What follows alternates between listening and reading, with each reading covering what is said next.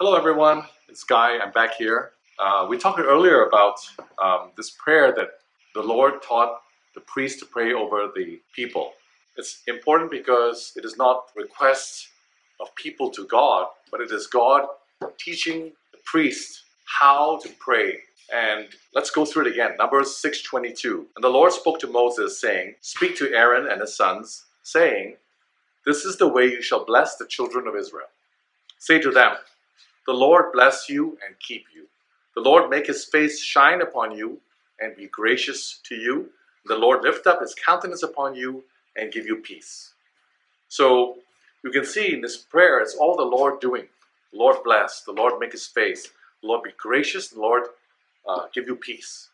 This is the desire of God, and that's why he taught the priest to pray in this way over the people. I mean, if, if we asked it of God and we knew that God would answer the prayer, that'd be that would solve a lot of problems already by its by by itself. Because if God's going to bless us and keep us and make His face shine upon us and be gracious gracious to us and give us shalom, wow, that covers up almost everything. Yet, this is the prayer from God teaching the priest to pray over us. So we know that if we ever pray this prayer, we're simply agreeing with God and say, Yes, God, I love your prayer. I, I want everything that you say that you want to give to me. I want it. I want you to keep me. I want you to bless me. I want you to have your face shine upon me. I want you to be gracious to me. And I want you to give me shalom, peace. And as we learned earlier, shalom is very important because it means completeness, wholeness, lacking nothing, tranquility, quietness, contentment, welfare, health, prosperity, lacking nothing. That is shalom. If we have shalom of God, it means we are well balanced, we are well provided for, we are in good health, and we're strong. That is really amazing. And we find this in the prayer that God taught the priest to pray over the people. So we know it is God's desire to give it to us. We know it's God's will. And when we pray this prayer, we are simply coming to, into agree, agreement with what God's will is. And as we spoke about earlier also in John 14 27, Jesus, before going to the cross, said, Shalom, peace I leave with you. My shalom, my peace I leave with you. And that my shalom, that's the shalom of Jesus, the completeness, wholeness, health, strength of Jesus, He's giving to us. Not as the world gives, but He gives it to us freely. Freely. It's free. It's a gift. Why is it a gift? Because if we go back to Numbers 622, the third verse, uh, verse 25, says, The Lord be gracious to you. I want to draw this, uh, your attention to this word, be gracious to you. God wants to be gracious to us. Grace, if you look up any uh, ex, uh, lexicon, it means it is the unearned, undeserved favor of God upon us. God wants to give us what is unearned and undeserved. It's a gift. You can't work for it. And that's the God's plan. In Romans 11 6, 11, 6 it says, And if by grace, then it cannot be based on works. If it were, grace would be no longer grace. You see? Grace cannot be based on works because if it's something we work for, then it's a reward. Grace is not a reward, it's a gift. Very important. Now, now we know that um, shalom of God comes by this grace because of uh, Numbers 6.22. Now, I'd like to read to you 2 Timothy 1 9, because we might, some people think, oh, you know, if man just didn't sin, if we just didn't sin, if Adam didn't sin, if we didn't sin, wow, you know, we'd be totally blessed. It's true. If sin didn't enter, we'd be blessed. But let me show you this. Grace actually pre-existed even the original sin of man and, uh, and, and uh, Adam in the, in the Garden of, Garden of Eve, uh, Eden. Because in 2 Timothy 1 9, it says, he has saved us and called us to a holy life, not because of anything we have done, but because of His own purpose and grace. This grace was given us in Christ Jesus from before the beginning of time. So even before the creation of the, of, of the world, grace already pre-existed, waiting to be manifest. This is God's heart. God's heart is a heart of grace. Even before rebellion and sin, grace already was in Jesus waiting before the foundation of the earth, before time began, waiting, waiting. This is the heart of God. That's why it's found in number 622. This is why grace is the answer. Grace qualifies the worst of us for the miracles that we need. Grace qualifies us even when we cause our own problems. Grace still is able to manifest and come in and change our lives, change us upside down.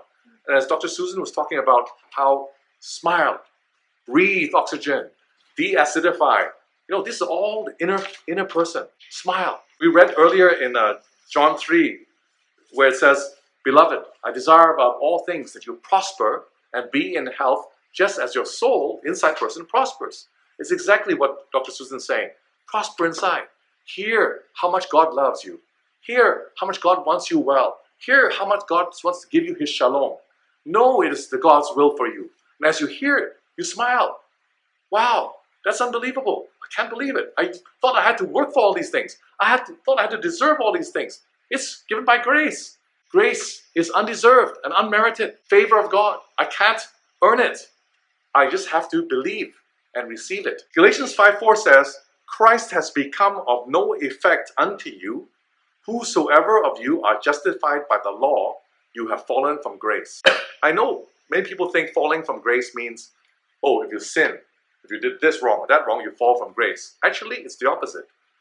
Whoever of you are justified by the law, you have fallen from grace. In trying to be obedient and meet all the requirements of the law, that action makes us fall from grace because we no longer try to, we, we, because we try to qualify for the miracles of God by our right performance, rather than receive from God what is free gift because He wants to give it to us by undeserved and unmerited favor as a gift. So a gift is in direct opposition to works. We cannot put the two side by side. That's why Romans 11:6 again, if by grace, then it cannot be by works. If it were by works, grace would no longer be grace. Grace cannot coexist with works. So what does it mean then? Does it mean we don't have to obey? We just do whatever we want and God's going to love us and, and pour out his healing on us? No, no. Here's what, it, here's what we need to see. It's just not quite what you think it is. Romans 10 16. But they have not all they have not all obeyed the gospel. You see, we have to obey the gospel. He didn't say obey the law and do the things of the law. Obey the good news, the gospel. What does the obedience to the gospel mean? It says Isaiah for it says, Isaiah says, Lord, who has believed our report? You see, obeying the gospel is believing the report of God.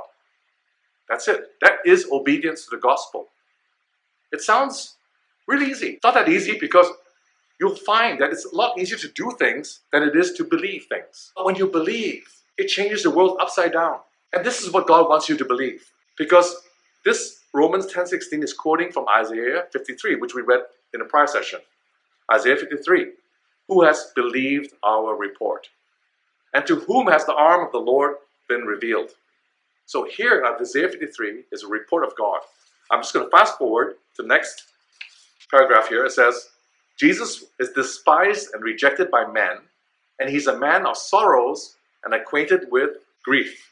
It says grief in most English translations, but in some it says diseases, and in the Hebrew it's koli, which means diseases. And and it says in the next uh, two verses down, it says, Surely he has borne our koli, koli, griefs.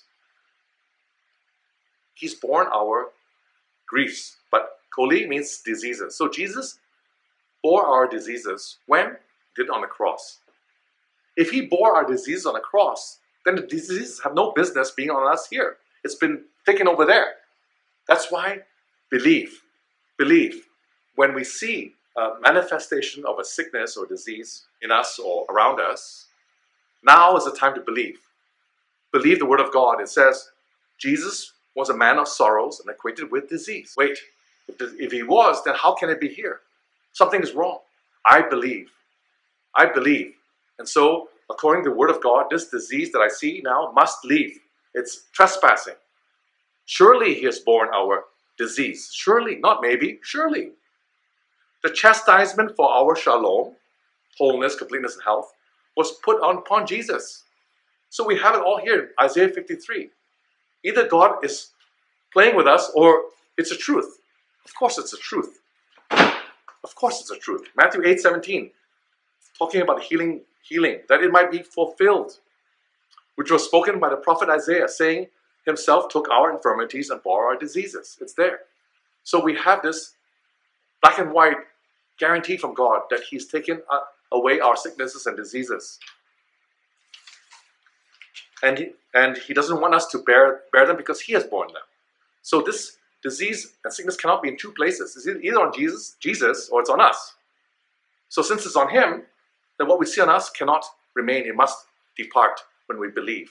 So we believe God like Abraham believed, and we ask God to manifest His miracles in us and take away the things which are now trespassing the finished work of Jesus, and that, and, and that we are delivered. And so we can have this shalom. We can have the shalom of, of Jesus himself. In John 6 28, I just want to uh, close the loop on this idea of works and grace. Because the people were also confused during the time of Jesus. They went to Jesus and said, What must we do that we might work the works of God? They wanted to work the works of God. And Jesus answered, This is the work of God, that you believe in the one whom he has sent.